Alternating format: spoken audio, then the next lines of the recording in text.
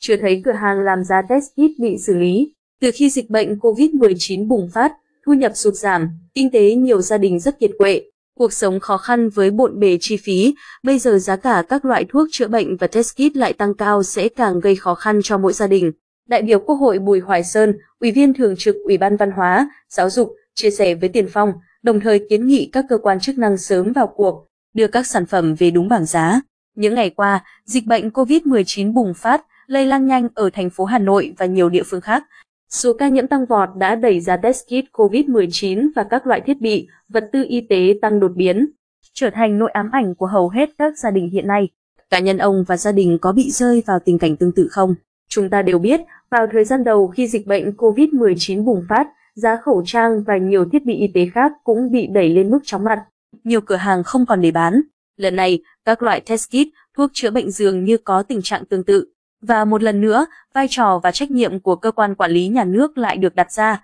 Khi xảy ra tình trạng này, Bộ Y tế cũng đã vào cuộc rất quyết liệt trong việc thanh kiểm tra giá thiết bị, vật tư y tế.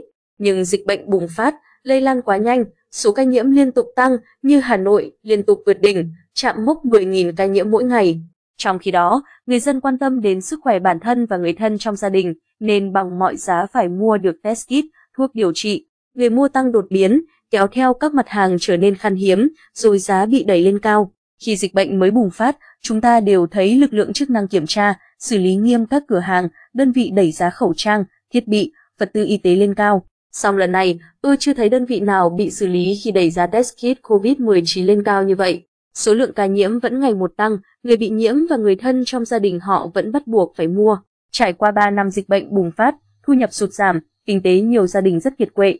Cuộc sống khó khăn với bộn bề chi phí, bây giờ giá cả các loại thuốc chữa bệnh và test kit lại tăng cao sẽ càng gây khó khăn cho mỗi gia đình. Vì thế, tôi đề nghị các cơ quan chức năng phải sớm vào cuộc để các sản phẩm phục vụ phòng chống dịch bệnh COVID-19 được bán đúng với bảng giá. Cũng phải nói thêm rằng, do tâm lý lo ngại, thậm chí có phần hoảng loạn, nhiều gia đình có triệu chứng hoặc phát hiện FO đã đi mua quá nhiều, test quá nhiều lần không cần thiết, gây lãng phí. Việc này có lẽ ngành y tế cần có khuyến cáo, đưa ra các hướng dẫn cụ thể hơn để nhân dân an tâm, điều trị đúng cách. Phải nói rằng, từ khi dịch bệnh bùng phát, ngành y tế và cơ quan chức năng đã đưa ra nhiều giải pháp để người dân phòng chống COVID-19. Tuy nhiên, nỗi lo sợ mắc bệnh của người dân đang vượt quá những khuyến cáo, hướng dẫn của ngành y tế.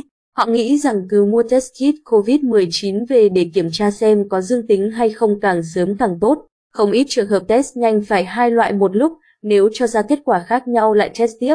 Đó là lý do vì sao nhiều người chấp nhận bỏ qua những khuyến cáo của ngành y tế. Chúng ta nên tin vào khoa học bởi những khuyến cáo của ngành y tế đã được cơ quan chuyên môn nghiên cứu rất kỹ lưỡng. Khi tin vào khoa học, chúng ta sẽ bình tĩnh hơn, từ đó mới có thể thích ứng an toàn với dịch bệnh khi mở cửa nền kinh tế. Các bạn nhớ đăng ký kênh và bật chuông thông báo để nhận được video mới sớm nhất nhé.